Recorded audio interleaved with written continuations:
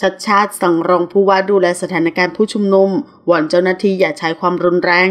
จากกรณีที่นายชัชชาติสิทธิพันธุ์ผู้ว่าราชการกรุงเทพมหานคร ซึ่งอยู่ระหว่างการลาราชการ เดินทางไปยังเมืองซีแอตเทิลรัฐวอชิงตัน สหรัฐอเมริกา เพื่อร่วมงานรับปริญญาของนายแสนปิติสิทธิพันธุ์ หรือแสนดี ลูกชายสำเร็จการศึกษาระดับปริญญาตรี โดยผู้ว่ากทมได้ไลฟ์เฟซบุ๊กอย่างสม่ำเสมอ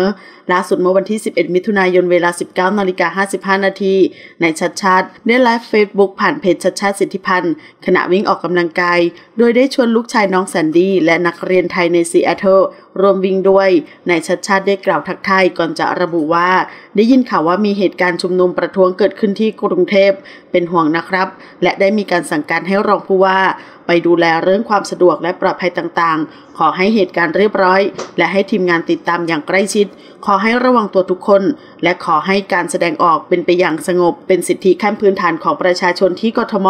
ต้องอำนวยความสะดวกให้ เดี๋ยวจะกลับไปติดตามเรื่องการชุมนุมต่อว่าจะเป็นยังไงบ้าง ขอให้ผ่านไปด้วยดี และขอให้เจ้าหน้าที่ อย่าปฏิบัติรุนแรงกับทางผู้ชุมนุม ทางกทมก็คงอำนวยความสะดวกเรื่องห้องน้ำเรื่องต่างๆ ได้แจ้งทางรองผู้ว่าไปแล้วครับ วันนี้มีดนตรีในสวนด้วยนะครับ ไม่รู้ว่าเป็นไง แต่เห็นได้ข่าวว่าคนแน่นเหมือนกันที่มิวเซียมสยาม นี่เป็นกังวลเหมือนกันนะ เรื่องชุมนุมอยู่เหมือนกัน เดี๋ยวต้องไปตามข่าวผมคงไลฟ์ประมาณนี้ เดี๋ยวจะรีบไปติดตามสถานการณ์ที่กรุงเทพ เป็นห่วงนะครับ ก่อนทิ้งท้ายว่าพรุ่งนี้เช้าผมก็กลับแล้ว ขอขอบคุณข้อมูลจากสยามสตรีทขอบคุณค่ะ